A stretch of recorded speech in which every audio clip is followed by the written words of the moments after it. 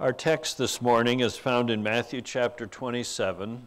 We'll be looking at verses 27 to 44. I invite you to turn there. And as I mentioned earlier, this is Palm Sunday. Unfortunately, Palm Sunday was back in Matthew 21. a distant memory to me who works so methodically and slowly through a book. But uh, if you remember, and I'm sure you do, on that occasion, Jesus came riding into Jerusalem. The crowd spread their garments and palm branches on the path in front of him, a measure of respect, I'm sure. And they cried out, Hosanna! Hosanna to the highest. And today, fast forward through most of that Passion Week, we call it. What do we see as Jesus has been sentenced and is now about to be led to the cross and nailed and hung on the cross? We see mockers mocking, mocking, mocking, mocking.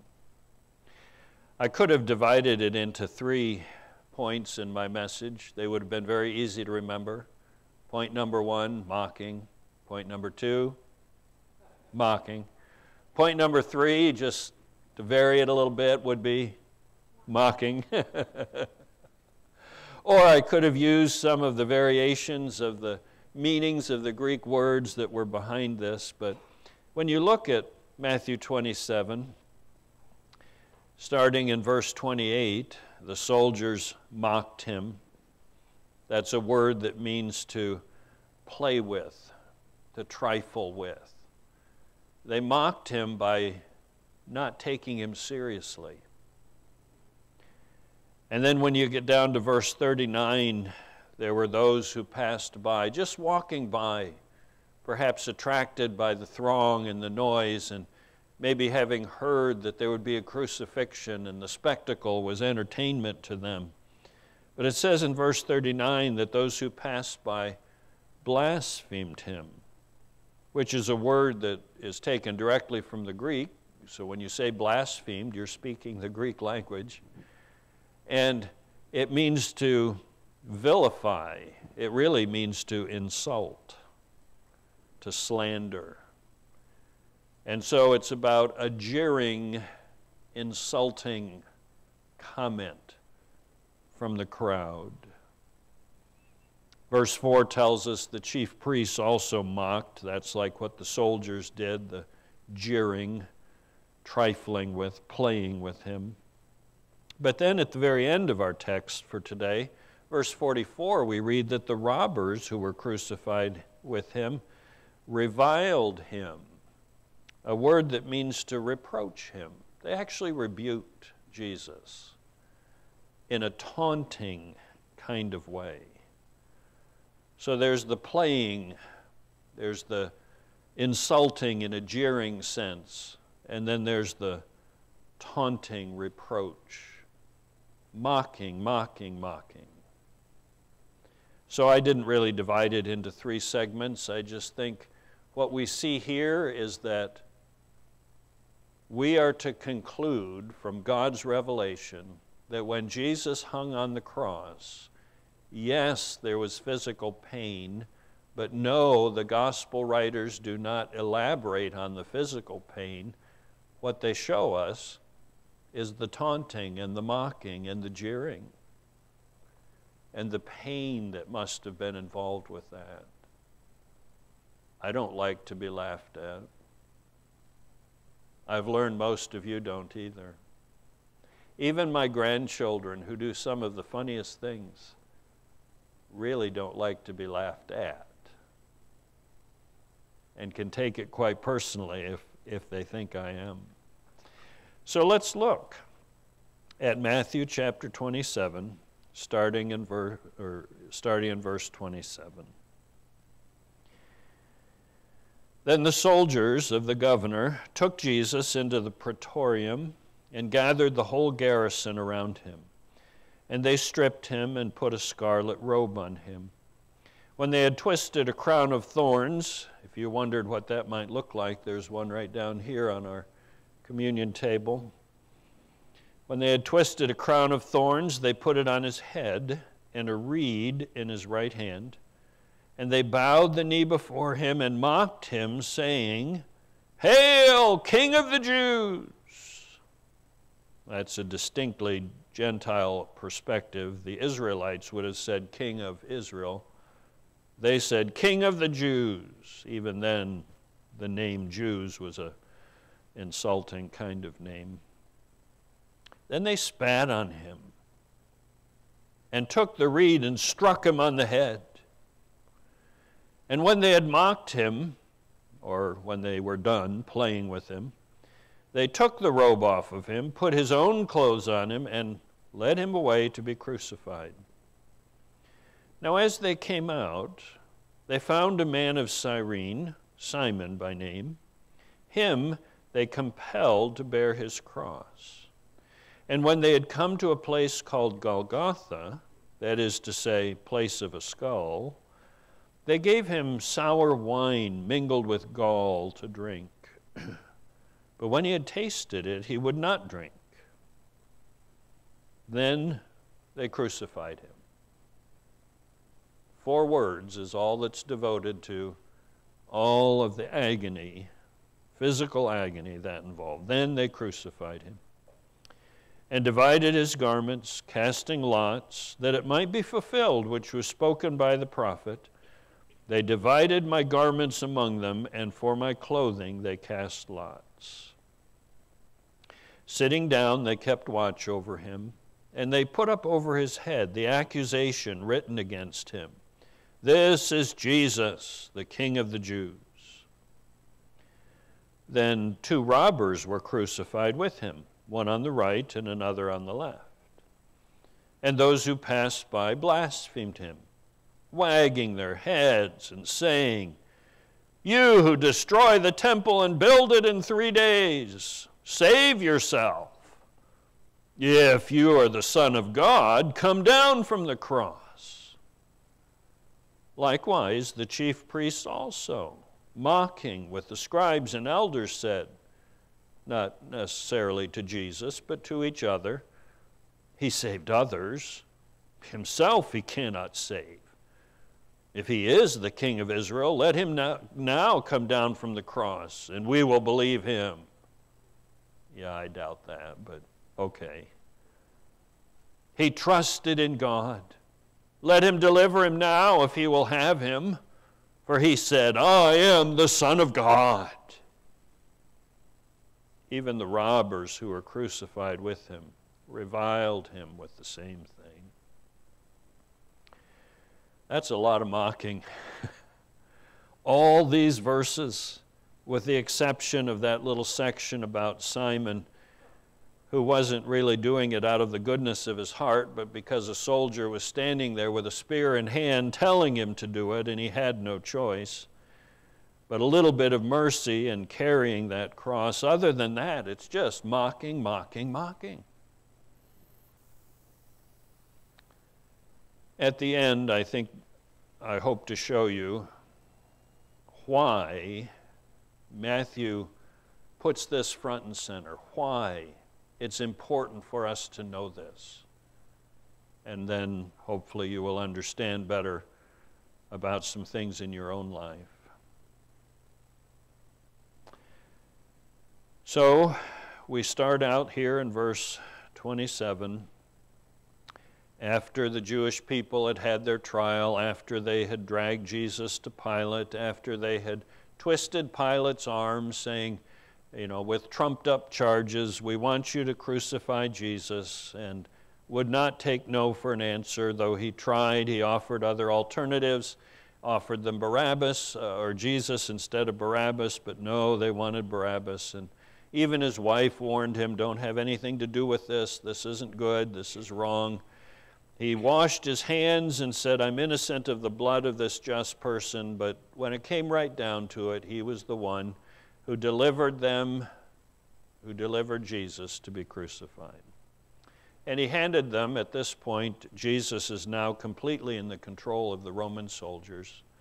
The Jewish people have done their thing, they're bystanders, they're watching to make sure it gets fulfilled, but they could not put him to death. The Romans had to, and so it is these soldiers, specifically the soldiers of the governor, who took Jesus into the praetorium, gathered the whole garrison, and etc., began to just play with him like he was a toy. Now, there's some interesting things about this, and since we have a couple hours before the service is over, I'm sure you don't mind if I delve into this a little bit, but uh, was that a little grumbling I heard? You see, Pilate didn't live in Jerusalem. Pilate lived in Caesarea. The praetorium is the title of the home where the governor lived, or wherever he happened to be staying, it was called the praetorium kind of like what we call our White House here in the United States. And if the president isn't in residence, say he's out on a ranch in California or at a resort in Florida, it becomes the Western White House or the Southern White House or whatever title people want to give to it. That's the word praetorium. Presumably, wherever it was, and we don't know, it could have been Herod's residence, it could have been a place they kept just for this but there would have been some barracks for the soldiers, for the garrison. So it wasn't just a handful.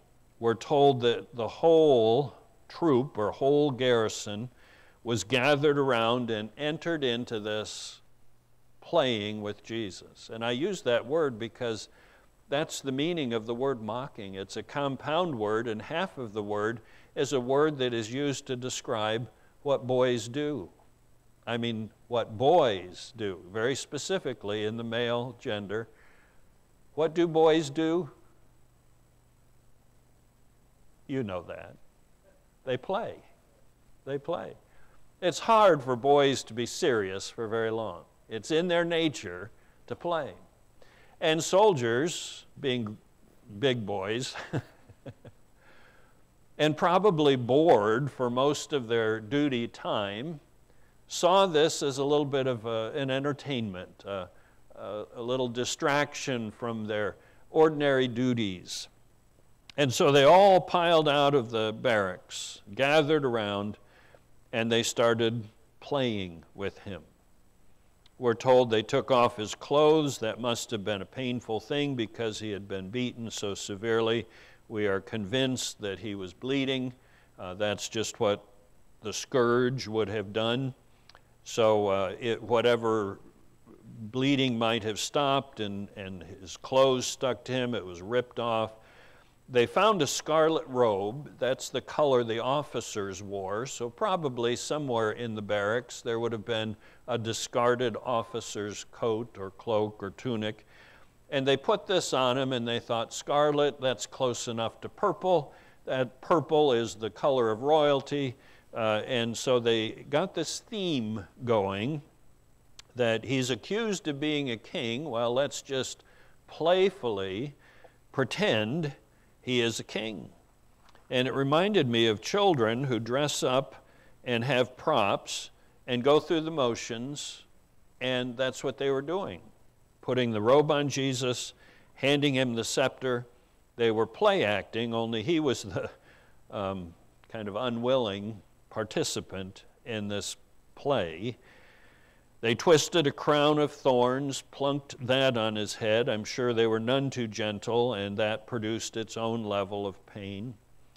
Put the reed in his hand and said, Here, here's your scepter. And then they just proceeded to mock him, showing that this man who is before them, and obviously in no way a king, was claiming to be king. Well, that's what they had been told, so that's what they went with.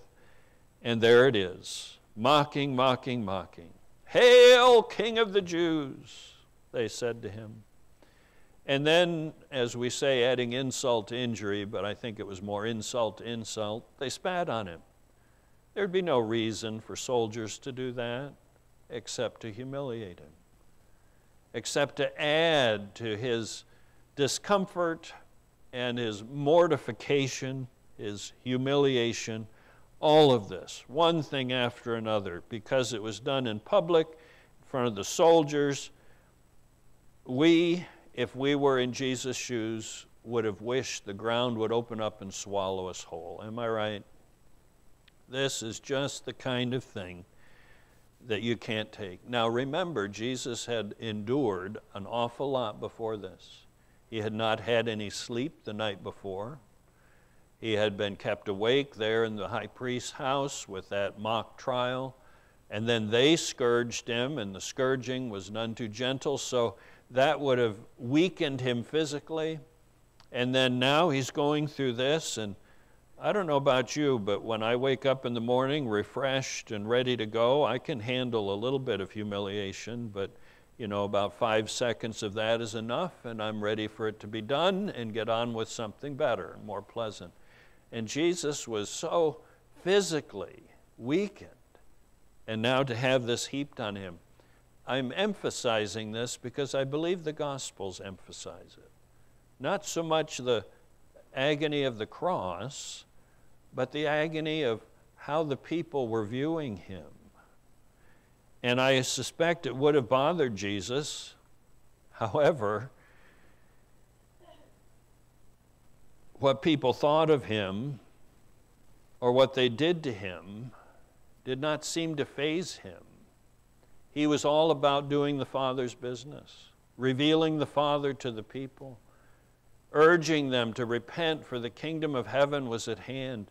He had a job to do, and it just didn't matter if things happened to him that were, in the normal course of events, humiliating or worse. I suspect we could learn from that. We get a little bit of trouble and a little ache and a pain, and all of a sudden we're out of commission. Please don't take that personally. If, if you've got something going on that's serious, I, I'm not meaning to make you feel guilty, but sometimes it doesn't take much to sideline us when it comes to serving the Lord. It would behoove us to consider what Jesus endured and think of how he was treated and how he responded to them. So they spat on him, they struck him, they mocked him, and then, of course, they ripped that officer's robe off and put his own clothes back on him. And when it was time, he was led away to be crucified. Such a simple phrase. He was led away to be crucified. Not unlike 35 when I pointed out those four words, then they crucified him. We do not have in our Bible a description of a Roman crucifixion. We have to go to outside sources. Other historians, like Josephus, have described in greater detail exactly what it entailed. And of course, archaeologists have dug up the evidence and verified what those uninspired historians have said. But in Scripture, all we have is they crucified him, they nailed him to the cross. Later, he was able to show the nail wounds in his hands, in his feet, and the spear wound in his side. Those were real things, they actually happened. But that's not the focus of the New Testament. The focus is always on what that death on the cross accomplished for us. And part of our focus today is what he endured as he was led to and nailed to the cross. It was all about his, his being mocked, his being taunted, the jeering, the reproaches, the, the insults, all of that he endured. And why did he do that? For us. Because that's what we deserve for our sin. Mind boggling. Jesus took what we deserved so that he could give us what we do not deserve his grace and the salvation, the relationship with the Father, like what he has, his righteousness. So there we have it. They led him away to be crucified. Verse 32, we have this little interjection in the scenario, and I don't know exactly why it's included. God thinks it's important, so we should think it's important. About on the trip out to Golgotha, which, by the way, we have no idea where it is or why it was called the place of a skull. Some suggest this and that, uh, but there's nothing definitive, and we cannot go to a particular place in Israel today and say, This is Golgotha. For that matter, we're not even sure that it's a hill, but boy, do we sing about the hill of Golgotha and uh, climbing the hill and the mountain and so on and so forth but the scripture doesn't really spell that out for us.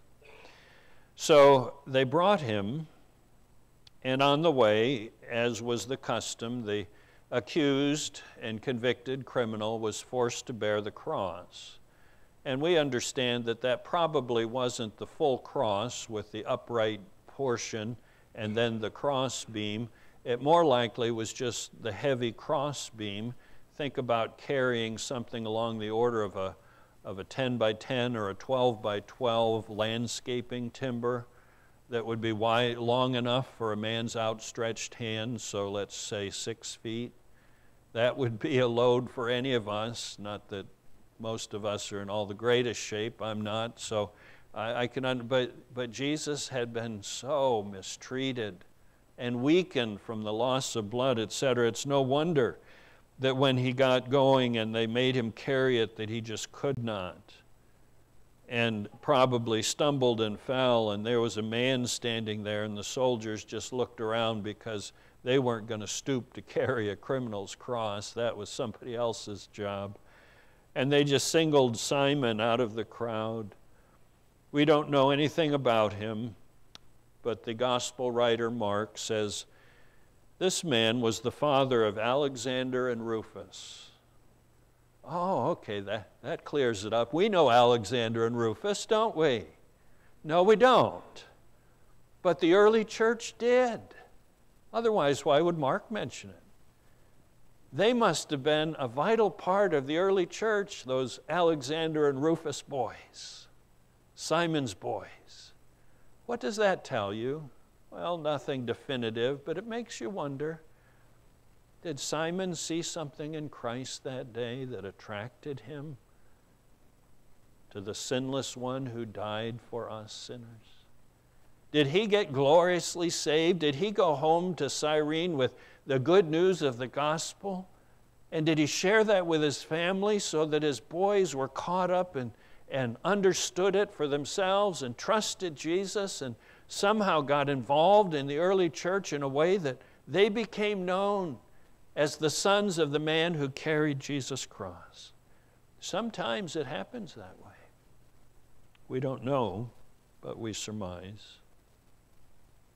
So they came to Golgotha, place of a skull. We don't know where it is. It was again a customary thing for a condemned man to be given this drink it's described as sour wine mingled with gall. What we suspect is something that the ladies in Jerusalem concocted and provided to the soldiers, um, something that uh, had a little uh, anesthesia in it to numb the senses, to just take the edge off, to make it so you're not just so on edge and, and um, feeling everything that your nerves are screaming at you. And what did Jesus do? He, he picked it up, he took a sip of it, or they held it to his lips, and, and he took a tiny drink and he said, No, I don't want that. Because I believe Jesus wanted to experience everything fully that was involved in his humiliation and his crucifixion. He wanted to suffer the greatest that God had for him. Why? Well, I'm kind of glad because when we're told that we don't have a high priest who doesn't understand our suffering, but in fact we do have a high priest who has experienced our suffering, we know that he didn't cut corners. He didn't say, Load me up with some morphine so I won't feel much, and then do your worst. He experienced it all. So that when we cry to Him with our pain, He can wrap his arm around our shoulders and say, I've been there. I know you're hurting, and I know what that pain feels like. That's part of why I think the gospel writers emphasize this mocking, mocking, mocking section of, of Jesus' story. So that when we experience that, we can go to Him, and when He says, I've been there and I know what you're going through, we're convinced. We believe him. So he wouldn't drink this anesthesia or this drugged wine that might have taken the edge off. Then they crucified him. That's all we have. I'm not going to elaborate because you know the story, and I don't want to tug at your emotions. God doesn't do that here. I don't need to. He hung on a cross because God had said, Those who hung on a tree are accursed. Jesus was hung on a cross, nailed to a tree, so to speak. The, the Greek word is the same for being hung on a tree as nailed to the cross. They used it interchangeably. So he hung on that cross because that's what God said would be required to offer us salvation. So powerful. He was crucified. And then, as if we'd be interested, they divided up his garments. A portion of his garments were sewn together, and they could tear apart the seams and come up with four different segments. And so they threw dice and decided who was going to get which portion of that garment that could be easily divided. But we're told in one of the other Gospels that the outer garment was so well constructed that they would, would not want to tear it apart or could not tear it apart. It was a seamless garment, and so they cast lots or threw down dice or whatever they did to uh, decide which of the four soldiers supervising this crucifixion would get it. But the important thing, according to Matthew, is that it is a fulfillment of prophecy. Prophecy from Psalm 22, verse 18, spoken hundreds of years earlier from the pen of David. I almost read Psalm 22, but I, I, I think you can do that on your own. And it says, 700 years before it happened, they divided my garments among them. For my clothing, they cast lots. God knew that would take place, and it did confirmation that this is God at work. As we said a, a, week ago from a comment somebody made to me on the way out the door, it was miraculous how every single detail fell into place. Everybody was where they needed to be at a given time to accomplish a certain purpose, and God oversaw the whole thing. And that's exactly how it happened, including fulfilling a prophecy that you would say is a pretty minor one. What happened to his clothes? Who cares? God cares. Showing that he knew it was part of his plan. In verse 36, sitting down, they kept watch over him there. Because sometimes a man wouldn't die very quickly, and if there were no soldiers, they could show up, and if there were enough of them and the crowd didn't prevent them, they could uh, take the person down and nurse him back to health, but the soldiers were there to make sure the sentence was carried out. We're also told they put up over his head that accusation this is Jesus, the King of the Jews. Now, there are several things about this that make us, um, that, that just remind us of how. Um, they were doing things that conveyed one message in their minds, but God wanted us to get another message. They were speaking truth even when they thought they were mocking. For example, way back at the beginning in verse 27, the soldiers of the governor took Jesus. One commentator said, I wonder if Matthew is mocking the mockers. Because, yes, they were the soldiers of the governor, they were Romans. But whose bidding were they doing? It wasn't really Pilate's. He said, I wash my hands of this. He didn't want anything to do with it. It was the Jewish people. So were they soldiers of the governor or were they soldiers doing the bidding of the Jewish people? And then what we stop and say is wait a minute, it was neither. These were soldiers who were doing what God had planned from before the foundation of the world. And on they go. The whole Hail, King of the Jews. Well, he was, just not in the way they pictured. They mocked him, but in their words, they were speaking truth. And, and the um, accusation written against him this is Jesus, the King of the Jews. I, I think the idea, although the Jewish people said, no, you shouldn't put it that way, you should say, he said he was. And Pilate said, no, the way it is, that's how it stands. But in a sense, I believe they thought they were mocking him because what king would allow this to happen? What king would endure this or put himself through this or end up on the cross? He's no king. And yet he was, just not the king they thought. Then in verse 38, the two robbers crucified with him. In verse 39, more mocking those who passed by. One commentator says there are three groups of people the passerbys, the chief priests and their allies, and then those who were crucified with them. Each of them had something mocking to say. And this commentator said Jesus was mocked by ignorant sinners, the passerbys, by religious sinners, the chief priests and allies, and the condemned sinners. Pretty much every demographic got their dig in. They had to play with Jesus in this taunting, jeering way.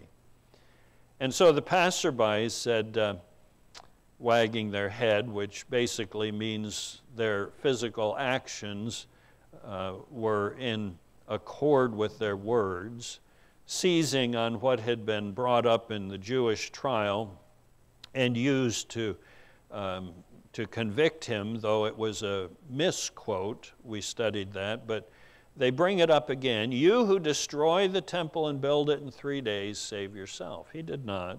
He did not say that. But then, if you are the Son of God, come down from the cross. The fascinating thing about that is they and the chief priests and allies who said kind of the same thing if he really is the king of Israel, he can save himself, he could come down, we'd believe him then. They're basically saying, if you do the miracle that I tell you to do, I'll believe you. I'll believe you're the Son of God. And you know what? We have the exact opposite view, don't we? They said, He stayed on the cross, therefore he must not have been the Son of God. If he had come down, that would have proven he was the Son of God. And we say, He stayed on the cross, that proves he was the Son of God. He stayed on the cross. As we said a week or two ago, Jesus' own words No one takes my life from me. I lay it down of myself so that I can raise it again. He stayed on the cross. And that proves he was the Son of God. They were saying the opposite, though it wasn't true. He was indeed the Son of God. He didn't have to perform for them with miracles at their bidding. He did what God wanted him to do, the Father, and that showed he was the Son of God. Even the robbers, verse 44, they were, they were actual criminals who'd had an actual trial, a legitimate one, and were actually condemned, convicted and condemned they deserved to be on those crosses on either side of Jesus. And they reviled him with the same thing. Now, Matthew doesn't tell us this, but one of the other Gospels says one of the robbers came to his senses and asked Jesus to pardon him. The other one just kept on in his blindness and his hardened heart. But they reviled him. They they um, uh, blasphemed and taunted him and chided and reproached him. What an incredibly foolish thing for them to do. But it depicts, shows for us just how blind they were. Now, here's what I'd like to do. Throughout all this portion of Scripture we've been reading and thinking about this morning, Jesus was reviled, played with, jeered at, taunted, reproached, ridiculed. I have three passages of Scripture I want to leave you with. You can jot down the reference or you can turn there if you choose. But at the beginning of Jesus' ministry, we have this lengthy section in Matthew we call the Sermon on the Mount. At the beginning of the Sermon on the Mount, in chapter 5, he begins to teach the multitudes and he tells them what it truly means to have a blessed life a life where God is smiling upon you. It's this kind of life, and it's counterintuitive. It's different, vastly different from what the world says is a good and blessed life. But here's what Jesus says Verse 11 Blessed are you when they revile and persecute you and say all kinds of evil against you falsely for my sake. Rejoice and be exceedingly glad, for great is your reward in heaven, for so they persecuted the prophets who were before you. No one who heard him on that day at the beginning of his public ministry could have, in their wildest imagination, considered how Jesus' life would conclude, his earthly life would conclude, being reviled and persecuted, and people saying wicked and evil things falsely about him. And yet, he shows that we can have the same response to those negative things by on the cross rejoicing and being exceedingly glad. Any sorrow that Jesus showed in his heart was a an, an attitude towards the wickedness, the darkness of sin. There was a sadness about it, but I believe there was a joy knowing, as Jesus knew, he was doing this for us. Then, if you turn to 1 Timothy chapter 4, the church has, has begun. It's still early, it's in its infancy. These little fledgling churches are being planted all across the civilized world and popping up here and there. Some of them needing help and instruction, and one of them, Ephesus, the Apostle Paul sends his right hand man, Timothy, his troubleshooter. And he sends Timothy, and in 1 Timothy chapter 4, verse 8, one of my favorite verses, bodily exercise profits only a little bit, goes on to say, Godliness is profitable for all things because it has a promise for the life that now is and of that which is to come.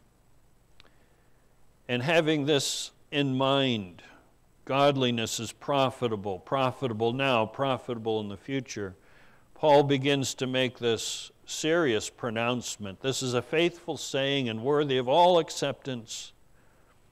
For to this end we both labor and suffer reproach. There's the same word that's translated mocking in Matthew chapter 27. We both labor and we suffer mocking because we trust in the living God who is the Savior of all men, especially of those who believe. Paul had experienced some trials in his lifetime, hadn't he? He lists them in his letters to Corinth, all of the things he experienced shipwrecked, being stoned, etc. And here he writes to Timothy, and maybe not all of those things had happened by this time when he writes. I don't know the timing.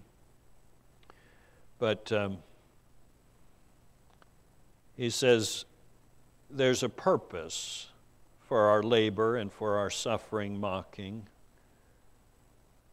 because it confirms, it strengthens our trust in the living God. It reminds us He's the Savior of all men, especially those who believe. You see, whatever humiliating experiences we have when we bring up Christ and people begin to titter and, and, uh, and say unkind things and chuckle and laugh and oh, how absolutely medieval you are to believe such ancient fables as what the Bible has to say. And, and you start to talk about things like abortion and about men and women and marriage and things that God has clearly said. And what does the world do? Drowns you out with laughter. How can you be so foolish, so naive to believe that kind of stuff?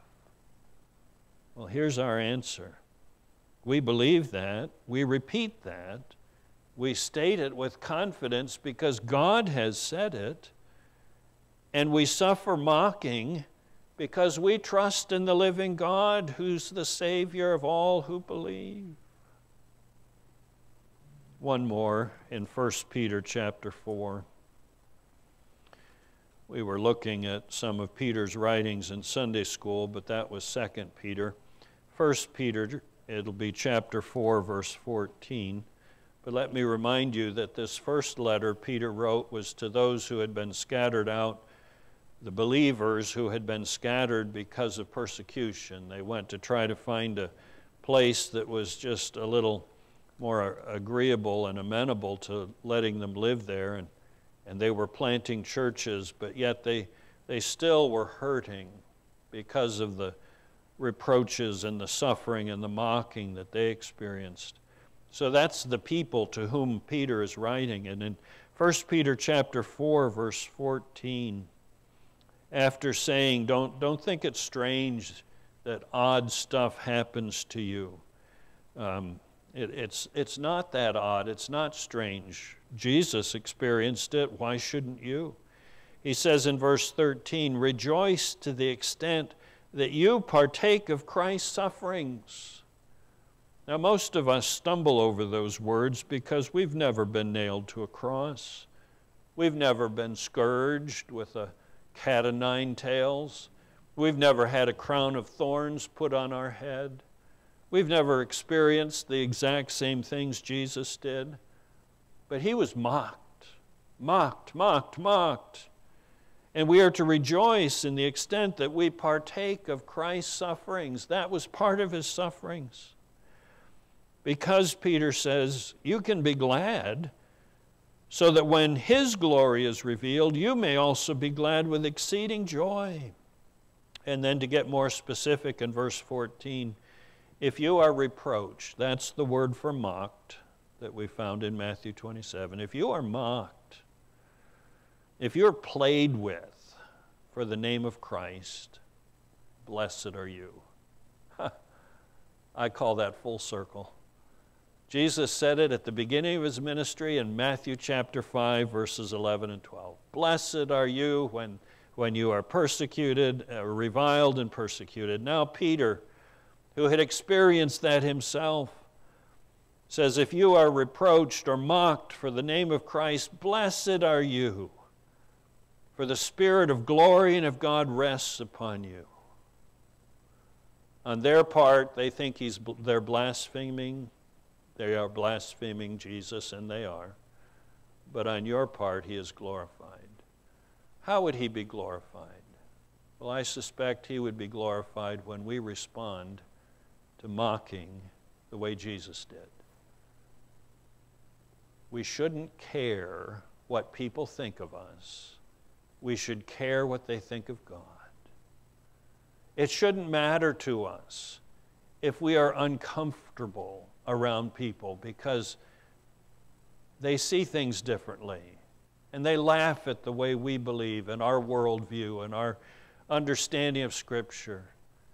and they try to make us feel small. It shouldn't matter to us. What should matter to us is what mattered to Jesus the salvation of their lost souls. And he endured the cross and the mocking, the reviling, the blaspheming, the taunting, the jeering. He did that so that God could save us from our sin. Take it away, forgive it, and give us Christ's righteousness. Father, I am so glad that you've shown us this today, that you've shown us this segment of what Jesus endured as he was taken to the cross and left there to die. I'm glad because it really relates to where we are and how we live. What we may be called to endure. And we have this example and this partner who has experienced what we may experience so that we know how to respond ourselves, so that we know what's truly important. And it's not our comfort, but it's your glory. Thank you, I pray, in Jesus' name. Amen.